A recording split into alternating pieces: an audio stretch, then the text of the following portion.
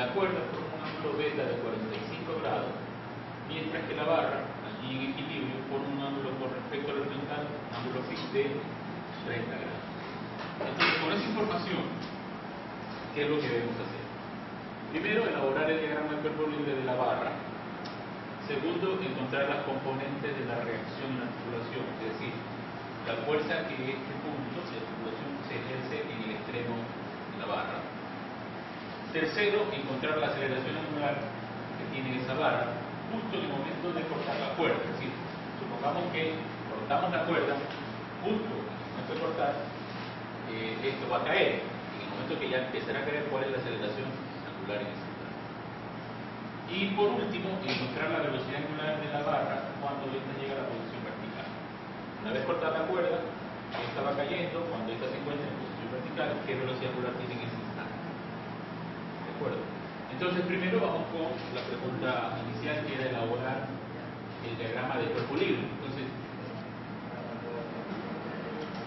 el diagrama del cuerpo libre de la barra, en esta situación de equilibrio, indicará, intentemos dibujar la barra, tal la figura inicial.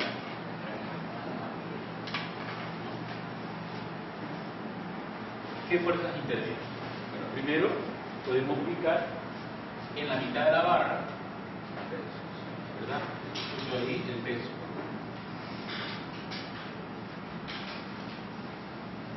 MG. En el extremo derecho, en donde está agarrada la cuerda, vamos a poner una fuerza de tensión. Una fuerza de tensión eh, que forma un ángulo cuánto. Fíjense que aquí debemos darnos cuenta que si yo trazo una paralela a la pared que pase por este punto, ¿verdad? Esta dos líneas paralelas, entonces este ángulo beta debería estar aquí. ¿De acuerdo? Es lo mismo con el ángulo phi. Fíjense con el ángulo phi. El ángulo phi es el ángulo que forma la barra con la horizontal. Si yo trazo una línea horizontal, o sea, una línea paralela, pero que pase justamente por este extremo de la cuerda, el ángulo phi debería ser, por supuesto, este de aquí. ¿Están de acuerdo? Ahora, este, fijémonos entonces que en el momento de trazar, con respecto a esta línea vertical, que pase por el extremo, llevo a tirar ahí la fuerza de tensión en este extremo. Esta fuerza de tensión debería estar lo de la cuerda para acá, la tensión T, y este ángulo debe ser beta, o sea 45 grados. ¿Listo? Y este ángulo en cambio es ¿cuál? Phi. Bueno, eso es lo que necesitamos por el momento. Bueno, ya está el peso, está la tensión, nos hace falta ahora la fuerza de reacción que está actuando aquí. Entonces, podemos poner por el momento una, una dirección cualquiera.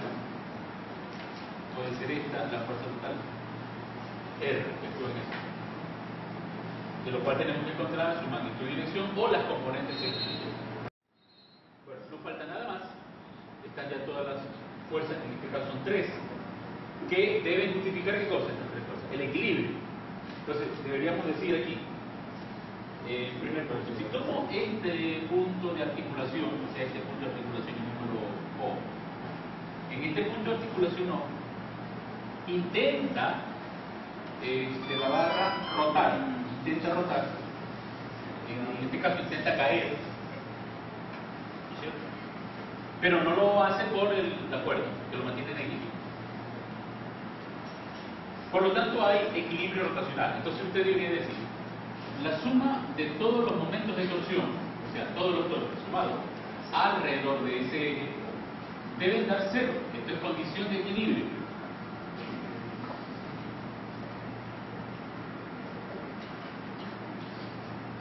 Para la rotación, ¿no? La intención es que la barra caiga, pero no, la cuerda se lo impide. Por lo tanto, la suma de todos los torques en ese punto, alrededor de ese eje que pasa por el punto debe dar cero. Veamos cuáles son esos momentos de torsión o qué fuerzas lo producen.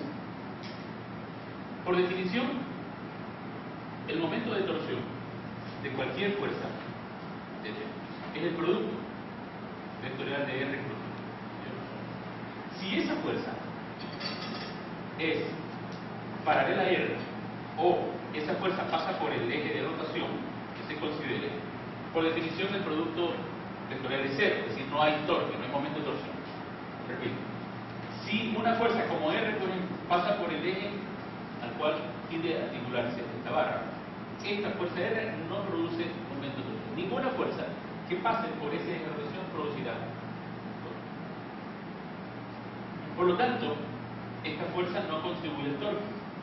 Mientras tanto, hay otras dos fuerzas como el peso y la tensión que sí van a producir. El uno porque hay intención de rotarlo en el sentido horario, el peso, y este en el sentido anterior. Entonces ahí se debe producir el equilibrio. Vamos con la primera. ¿Cuál es el momento de torsión producido por el peso? Entonces aquí hay una definición que si yo quiero calcular, por ejemplo, momentos, el momento de torsión producido por el peso, yo tendría que decir, a ver, ¿cuál es el, el peso como vector hacia el producto cruz? Eh, al revés. El brazo de palanca, el producto cruz con el peso. Si yo hago este producto cruz entre estos vectores, yo tendría que identificar cuál es el ángulo que forman estos dos vectores. R, que sería un vector trazado desde aquí hacia donde está R. Y tendría que hacer entonces el, producto cruz entre R y, MG. Y determinar, por supuesto, el ángulo. Esa es una opción. Veamos cuánto es eso.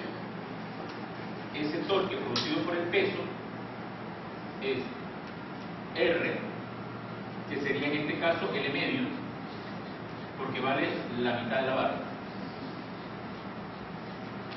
El módulo del peso que es MG y el seno del ángulo que comprenden estos dos vectores. ¿Cuánto sería el ángulo? Bueno, usted observa aquí tiene MG y R que va en esta dirección. Por lo tanto, si usted observa que aquí hay un ángulo phi, entonces este ángulo de aquí sería 90 grados más phi. Como phi vale 30, entonces esto sería 120 grados. Entonces tendría que decir el seno de 120 grados. Esta es una vía para poder encontrar el momento de torsión debido a esta fuerza. La otra opción es que yo encuentre el brazo de palanca en dirección del peso. Es decir, este es el peso, ¿no? Esa es la línea de acción del peso. Y aquí el brazo de palanca sería esta distancia. Entonces, al tener esto como brazo de palanca por la acción del peso, este, esta fuerza siempre queda perpendicular a esta distancia. Por lo tanto, el de palanca puede encontrarse descomponiendo R con el coseno de phi. Entonces, el otro método para poder calcular el torque debido al peso es tomar el brazo de palanca y multiplicar por el peso. Esa es la otra opción. Entonces, con el concepto de de palanca diría, bueno, descompongo R, ¿no? R por el coseno de phi. Tengo R coseno de phi, o sea, coseno de 3, multiplicado por la magnitud del peso. Entonces, esto se da igual a R, ¿qué cosa es R? La mitad de la, la, longitud L por mg y por coseno de 30. Entonces, estas dos cosas deben dar el mismo resultado. Fíjense ustedes que el coseno de 30, ¿cuánto? Raíz de 3 sobre 2, 0,866. Y el seno de 120, lo mismo, 0,866. Entonces, estas dos formas de calcular el torque deben llevar el mismo resultado. En ciertas ocasiones es preferible utilizar este método, que es más simple de identificar el brazo de palanca que identificar el ángulo. Porque en algunas ocasiones, por cuestiones de la figura o de la determinación del ángulo, hay más probabilidad de equivocarse en la determinación del ángulo. Entonces, este, este método es más sencillo. Listo, entonces ponemos por este lado la ecuación. Eh, el brazo de palanca, debido al, peso, ¿no es cierto? El torque debido al peso, no, lo habíamos visto que era igual. L medio coseno de phi por medio. Eso es el torque. Como yo asumo aquí positivo, porque estoy poniendo positivo, el torque producido por este peso, porque intentaría rotarlo en esta dirección horaria, todas las fuerzas que provoquen un torque en sentido contrario, es decir, un contratorque, tendrá que tener dirección negativa, como el que provoca la tensión. Entonces aquí tendría el torque producido por la fuerza de tensión. Y en esta suma esto debe ser. Entonces ahora nos toca averiguar cuál es el momento torque producido por esa fuerza de tensión. Bien, como esta es la fuerza, ¿verdad? la distancia a la que se encuentra esta fuerza aplicada respecto al punto que tiende a articular es esta distancia R, ahora, o sea, toda la barra. Entonces yo tendría que, si utilizo este método del brazo de palanca, determinar cuál es el brazo de palanca. Bueno, entonces, ¿a dónde está la fuerza de tensión? Para acá. Si yo necesito encontrar el brazo de palanca, yo tendría que descomponer esto en dirección si tomo X y Y, las componentes respectivas en esa dirección. Pero ahí resulta un poco complicado determinar el brazo de palanca por el ángulo. Entonces, no es recomendable seguir usando este criterio, sino más bien descomponer la fuerza T, fuerza de tensión, de tal manera que quede perpendicular a esta distancia R. Que la fuerza quede normal, que quede perpendicular.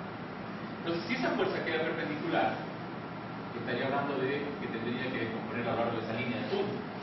Entonces, aquí estaría hablando de una fuerza, vamos a ver aquí, T, perpendicular a la línea de la barra. Entonces, esta es la tensión y yo tendría que descomponer.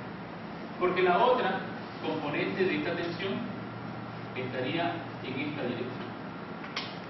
La otra, la tensión que es paralela a la barra. ¿Sí me entiendes? Entonces voy a encontrar en esta ocasión las componentes de esta fuerza perpendicular a la barra y paralela a la barra. Este, pero para ello necesito el ángulo. Entonces, el ángulo que necesito es este o el su. ¿Cuánto debería ser este ángulo? Bueno, 45 grados, es decir, beta es hasta acá. Si lo distingue, desde la vector azul hasta la línea negra. Eso es 45 grados. Como esta línea, esta línea que está aquí, eje Y,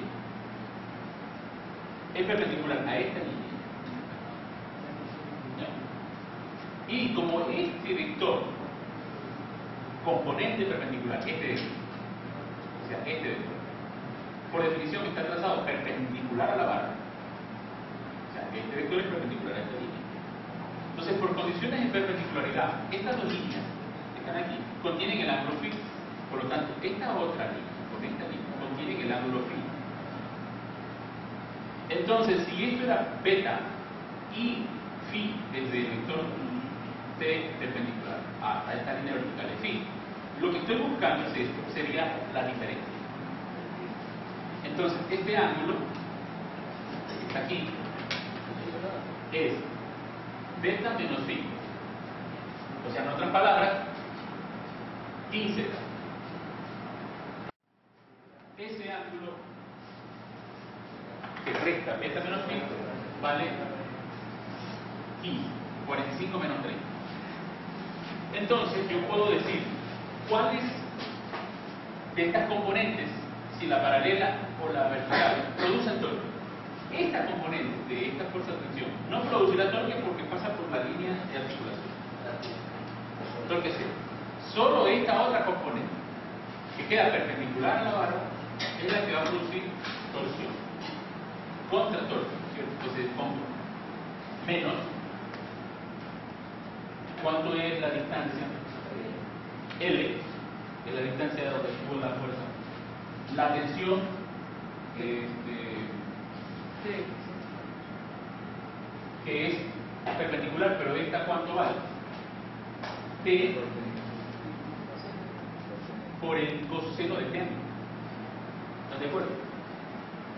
La tensión T por el coseno de X.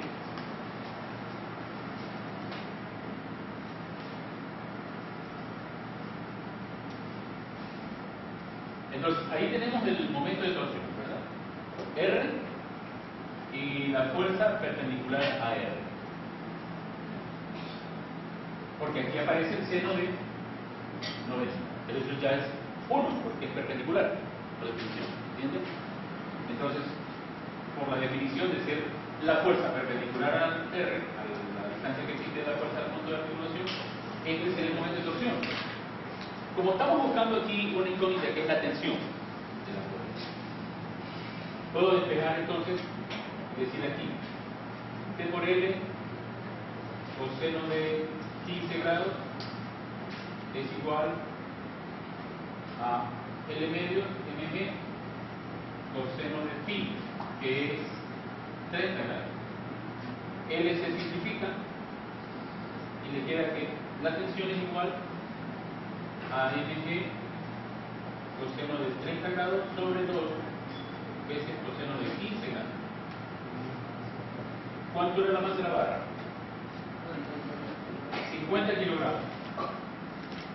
Por 9.8 de gravedad. Por el coseno de 30 y dos veces coseno de 15.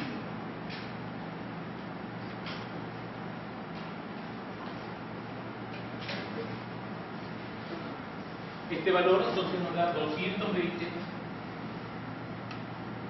la tensión de la cuerda. La tensión que se está ejerciendo justo en esta cuerda para mantener a la barra con ese peso en equilibrio y en esa disposición de ambos. 220 newtons. Bueno, con esa tensión, aunque la pregunta no era la tensión, sino encontrar las componentes de la reacción, pudiera indispensable saber ese, ese incógnito, conocer la tensión. Porque las reacciones, estas componentes, ¿no? van a tener dos. La componente en X y la componente en Y. Esas son las que tengo que encontrar. Son las que están actuando en este punto. Entonces, si esta es la condición de equilibrio para la rotación,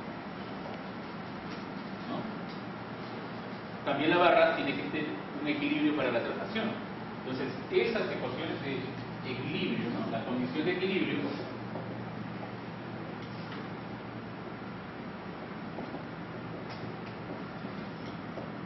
son las que me informan de que todas las fuerzas en X dan cero y todas las fuerzas en Y deben de cero. Empezamos con X. Vámonos al diagrama ecuatorial.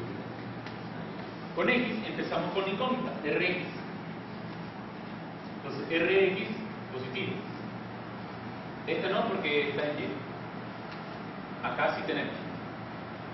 Entonces, aquí en la figura, para encontrar la componente en el eje de las X, me conviene redibujar esas componentes.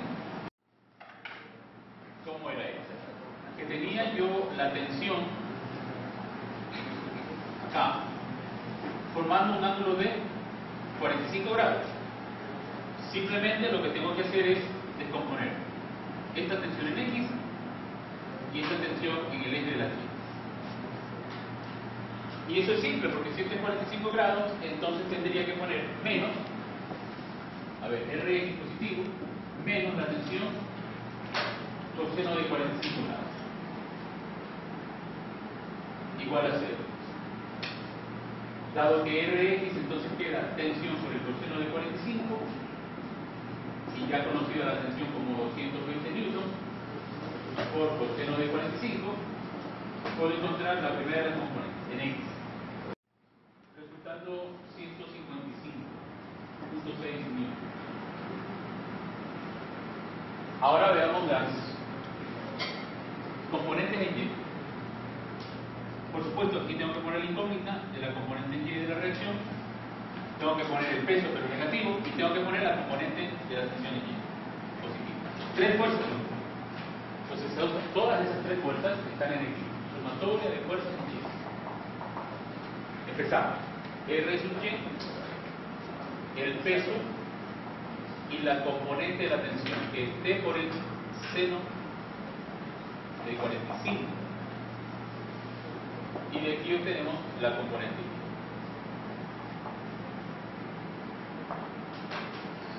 Reemplacemos los datos. La masa era 50 kilogramos de la barra, por 9.8, menos el producto de la tensión que es 220 newtons por el seno de 45.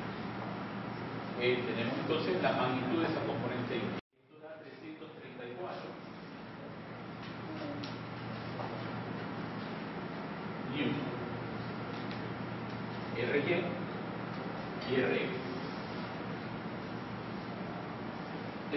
que escribe cuál es la fuerza de reacción en componentes rectangulares, tendría que escribir 155.6 y 334 por unidades. Esa sería, esa sería la fuerza de reacción. Vamos a calcular.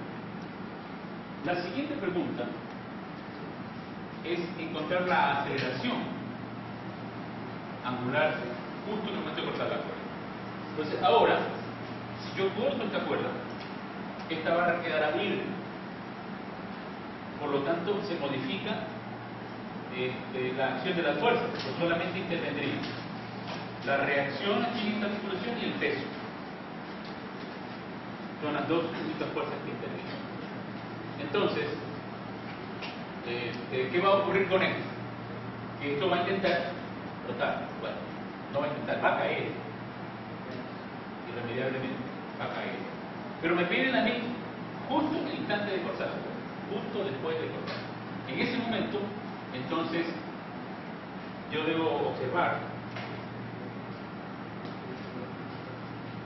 que uh, la sumatoria de los momentos de torsión que se provoca alrededor de ese punto de articulación, ¿no? ya no es cero, ya no estará en equilibrio, sino que esto tiene que ser igual al momento de inercia del sólido rígido de la barra alrededor de O por la aceleración. Es decir, debo aplicar condición de dinámica, segunda ley de Newton para la dinámica. Entonces, para ello, necesito calcular el momento de inercia y el torque que se produce. ¿Cuál es el momento de inercia de una barra? A ver, vamos a recordar. El momento de inercia de una barra, cuando su eje está en su centro de masa, es decir, en la mitad de la barra, era 1 sobre 12, la masa de la barra y la longitud de la barra cuadrada, ¿recuerdan? Entonces, si ahora esa barra está articulada en el extremo, entonces aplicamos teorema de los ejes paralelos, es decir, el momento de inercia con respecto a O es el momento de inercia con respecto al centro de masa más, ¿qué cosa? M, como si toda la masa estuviese aquí en este sitio, y la distancia entre estos dos ejes paralelos. ¿Cuánto sería esa distancia? L medio, ¿cierto? L medio. Pero esto tiene que estar elevado al cuadrado. Así que entonces esto nos conduce a un doceavo de ml cuadrado más ml cuadrado sobre, sobre 4. Y esto es 1 más 3, 4 sobre 12, ¿cierto? 4 sobre 12 de ml cuadrado. Pero 4 sobre 12 es un tercio. Entonces esto es un tercio. Este es el momento de inercia que tenemos que calcular. El momento de inercia de este sólido de la barra con respecto a la articulación que está en el extremo de la barra, cuyo momento de inercia es un tercio de la masa de la barra por la longitud de la barra cuadrada. A ver, de una vez aprovechemos y calcular. Recordemos, la masa de la barra era 50, la longitud de la barra 4 metros. A ver, calculemos esto para ver cuántos kilogramos nos da. 4 por 4, 16 por 50 dividido para 3. Entonces esto sale 2, 6, 6.7 unidades de kilogramos metro cuadrado. Ya está el momento de inercia para poder calcular algo, pero ahora me falta calcular el torque. ¿Torque producido por quién? Por la única fuerza que produce, el peso. Porque la reacción no produce torque. Ya desapareció la tensión. La única fuerza que queda es el peso. Entonces, por acción del brazo de palanca, ese torque sería el brazo de palanca que sería L medio coseno de phi, porque estamos viendo en ese instante, que todavía es 30 grados. Entonces, esto es phi. Y esta distancia es L medio. Entonces, L medio coseno de phi, este es el brazo de palanca, esta distancia. Este brazo de palanca queda perpendicular a la fuerza peso. Entonces, este es el momento de torsión. Y listo para calcular alfa, la aceleración angular. Entonces veamos, esto nos está quedando mgl coseno de phi, que divide a dos veces sub 0. Y reemplacemos datos. La masa de la barra 50, la gravedad 9.8, la longitud de la barra 4, el ángulo phi 30 y el momento de inercia que habíamos dicho que era 2.66. Reemplazamos y calculamos. Resulta 3.18 radianes sobre segundo. ¿Esta aceleración cuál es? Es la aceleración que tiene esa barra justo cuando la barra todavía está a 30 grados y se ha cortado la cuerda. Bien. Pregunto yo, esta barra, cuando ya no está en 30 grados, sino digamos en 20 grados, un poco más abajo, ¿va a tener la misma aceleración angular? ¿Por qué?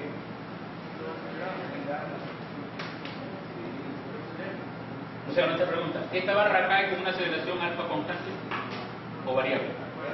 Es variable porque si, si el torque es constante, alfa es constante. Porque el momento en ese la barra no va a cambiar. Es un sólido rígido, una barra que no cambia de forma y la articulación no cambia, eso es constante. Entonces, para que esto sea constante, esto tiene que ser. Y esto no es constante, ¿por qué? Esto sí es constante, pero lo que no es constante es el brazo de palanca, que va variando porque conforme cae, este ángulo es variable, ya no es 30, es 20, es 10.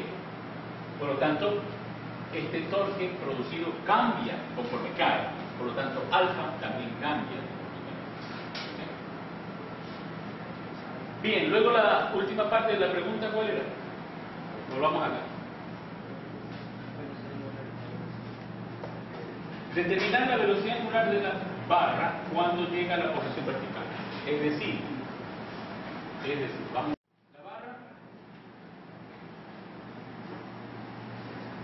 está inicialmente así. Voy a poner una línea ¿no? como barra.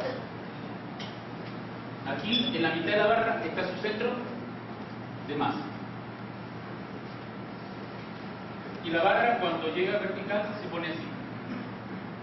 Entonces aquí está su centro de masa. Es decir, que su centro de masa hace este arco. Entonces, yo puedo utilizar conceptos de energía para determinar eso.